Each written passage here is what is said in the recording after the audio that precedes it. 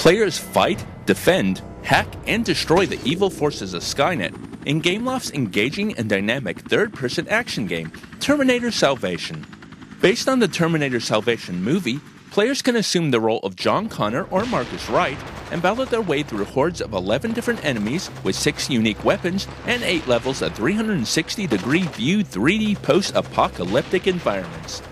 The game offers players 4 different control schemes, enough to suit almost any style of gaming. Each of the control schemes uses a virtual analog stick for movement on the left side of the screen and action buttons to fire weapons on the right hand side of the screen.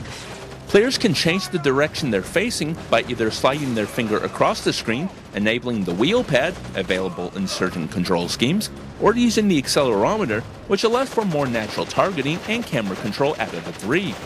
The graphics and gameplay for this game are both high quality and very well polished, and they give the game a real realistic boost, which only adds to the overall enjoyment.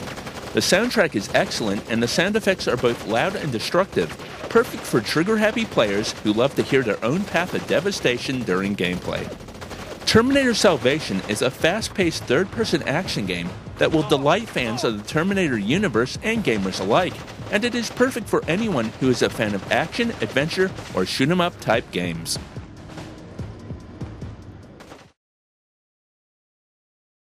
This has been Dave with AppSpy.com. We review, you decide.